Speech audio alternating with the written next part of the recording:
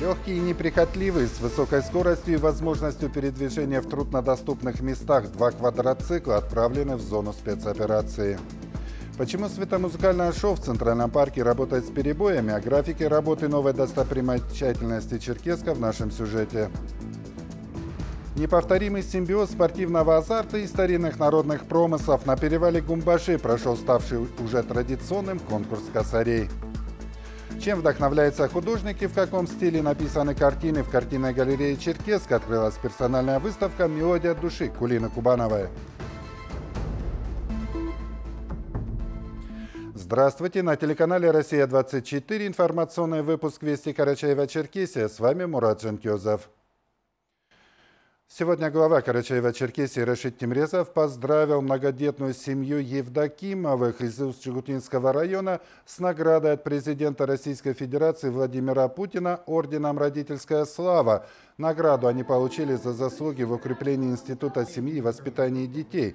В семье Сергея и Инны воспитывается 8 замечательных детей. Аделина, Иван, Вероника, Николина, Евника, Михаил, Есфир, Мелисса. Евдокимова не только большая, но еще и очень творческая семья. Все девочки, за исключением еще маленькой Мелиссы, играют на скрипке, а также помогают маме готовить десерты. Мальчишки, как настоящие мужчины, помогают отцу с ремонтом и даже создают мебель для дома. Воспитать ребенка в современном мире непросто, а когда большой семье удается вырастить любящих, целеустремленных, талантливых детей, настоящих патриотов своей страны, это дорогого стоит. От души поздравляю с заслуженной наградой. Пусть в семье всегда царят радость и счастье. Крепкого вам здоровья, благополучия и успехов, говорится в поздравлении главы Карачаева-Черкесии Рашида Тимрезова. По поручению главы Карачаева-Черкесии Рашида Тимрезова в зону специальной военной операции ребятам из нашей республики был отправлен еще один груз поддержки – два квадроцикла – Груз был сформирован по обращению командования 34-й отдельной мотострелковой горной бригады.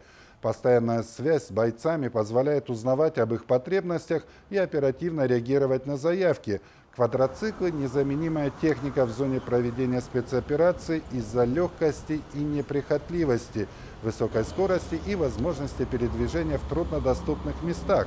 Работа по поддержке наших военнослужащих не прекращается, и сегодня важно объединить все усилия и возможности для того, чтобы поставленные задачи были выполнены. Мы ждем наших ребят домой с победой, отметил глава Карачаева-Черкесии Рашид Тимрезов.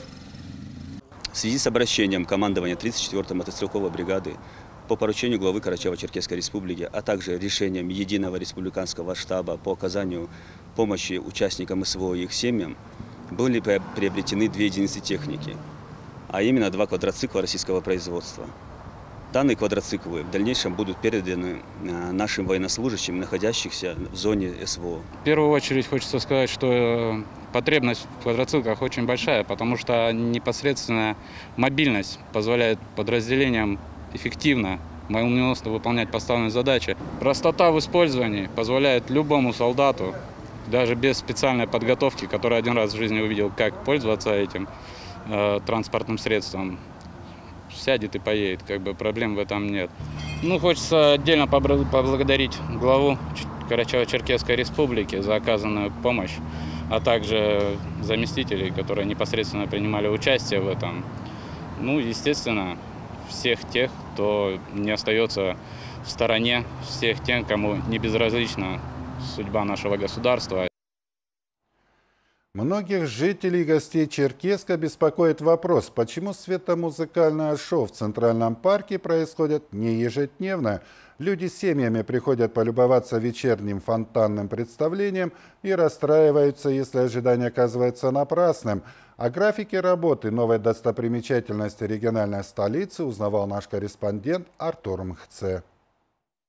Перед просмотром такого светомузыкального шоу люди заранее занимают места в Центральном парке Черкеска, и происходящее никого не оставляет равнодушным.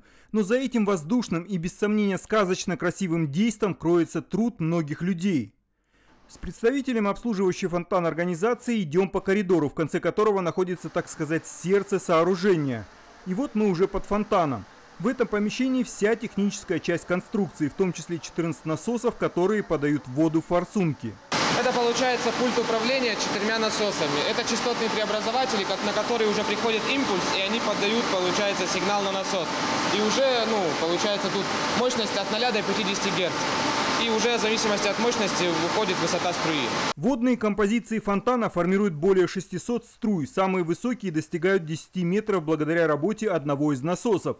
Но чтобы видимая красота оставалась долговечной, за чистотой конструкции нужен постоянный контроль. Поэтому промывка системы проводится два раза в день, а с применением химии дважды в неделю.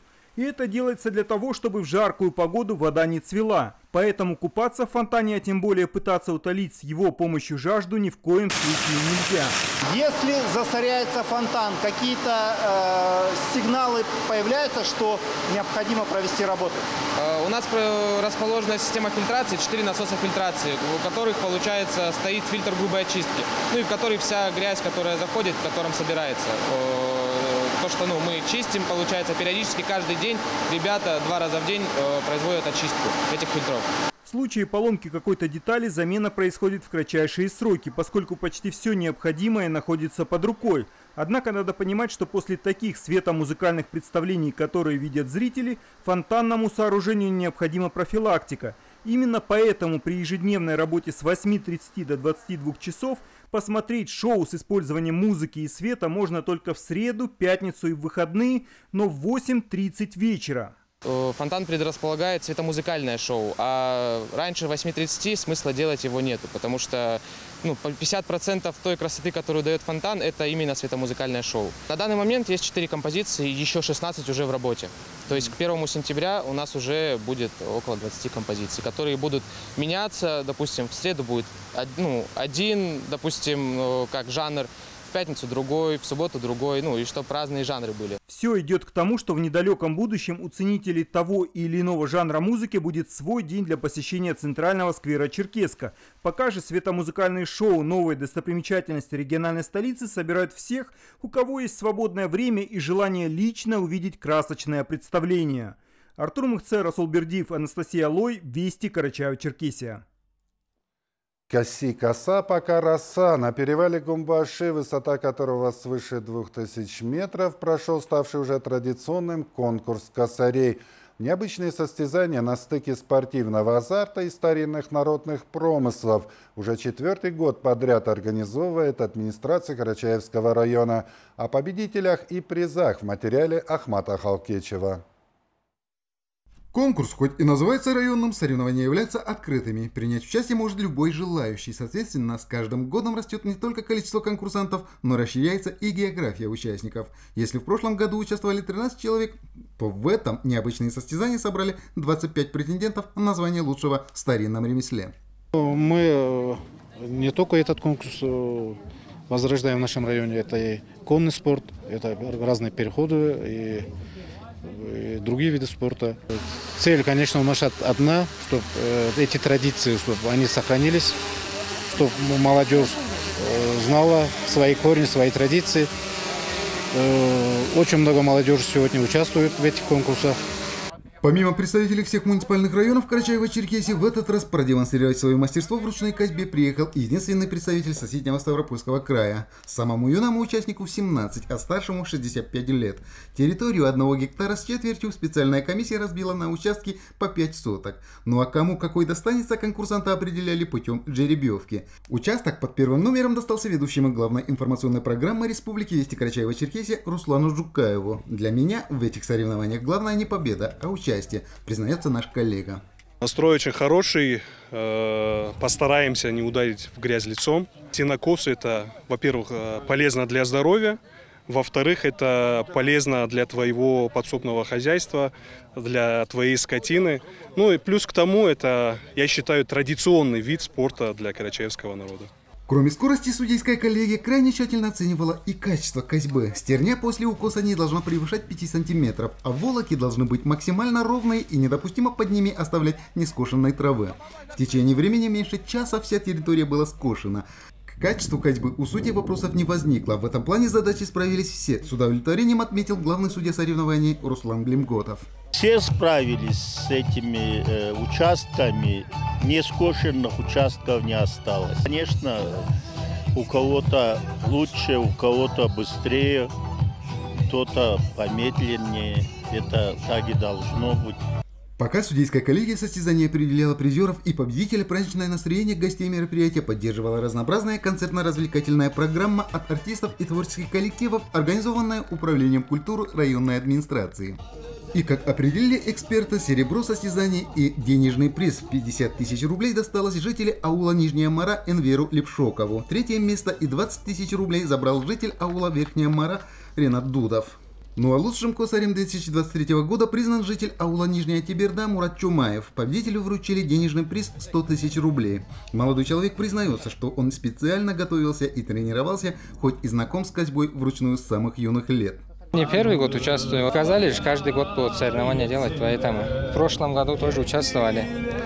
Второе место взяли. В этом году чуть нормально потренировался. Соперники все, конечно, достойные, хорошие. Организаторам тоже большое спасибо. Как поведали организаторы, в планах вывести конкурс на общереспубликанский уровень уже официально. Ахмад Халкевичев, Олег Малхужев, Вести Карачаева-Черкесия, Карачаевский район, Перевал Гумбаши. В картинной галерее Черкеска открылась персональная выставка «Мелодия души». Автор работ Кулина Кубанова, член Союза художников Карачаева-Черкесии. Чем вдохновляются художники, в каком стиле написаны картины, узнавала Дарья Тендит.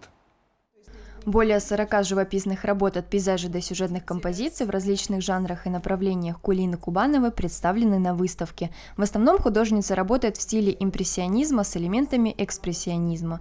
Кулина Кубанова поделилась, что вдохновляется она окружающим миром, выставками и своими детьми. Определенного стиля, я не могу сказать, что у меня есть определенный стиль. У меня есть и реализм в моих работах, и абстракция, и сюрреализм есть, импрессионизм с элементами экспрессионизма. Родилась Кулина Кубанова в Черкеске. Еще со школы Кулина хорошо рисовала и выбрала профессию художника. Успешно окончив художественно-графический факультет Карачаево-Черкесского государственного университета имени Умара Алиева. Будучи студенткой, она участвовала в республиканских, региональных, всероссийских и международных выставках. Название «Мелодия души» было выбрано не случайно. Это выставка – отображение окружающего мира через яркие краски. Долгое время я как-то не решалась, э, если честно, на персональную выставку. Но спустя некоторое время э, я решила э, просто показать народу, не знаю, свои работы, рассказать о себе, дать знать. Ведь если художник о себе не говорит, о нем и не знает народ. Картины притягивают своеобразием ярких красок и энергичных пастозных мазков. Пройти мимо, не рассмотрев детально каждую, очень сложно. Гости из Швейцарии приехали в нашу республику на каникулы. Они посетили выставку и поделились впечатлениями. Es gefällt mir wirklich sehr gut da. Ähm, und auch, ich finde, ich habe halt gerne noch ein bisschen grelle Farben und darum gefällt mir Das finde ich nicht schlecht, das gefällt Ему очень нравятся краски, и вот очень эти картины прямо с левой стороны, ему больше всего нравится, что такое разнообразие красок. Желающие окунуться в мир импрессионизма с элементами экспрессионизма могут посетить выставку до 18 августа. Дарья Тендит, Расул Бердиев, Вести Карачаева-Черкесия. Совсем недавно в Карачаево-Черкесии прошел 32-й фестиваль «Горные вершины», но впервые конкурс бардовской песни проходил не в Донбае, а в другом известном курорте – Архизе. Предлагаем вашему вниманию специальный репортаж с фестиваля Ольги Савенко. А я с вами прощаюсь, хорошего вам настроения и всего доброго.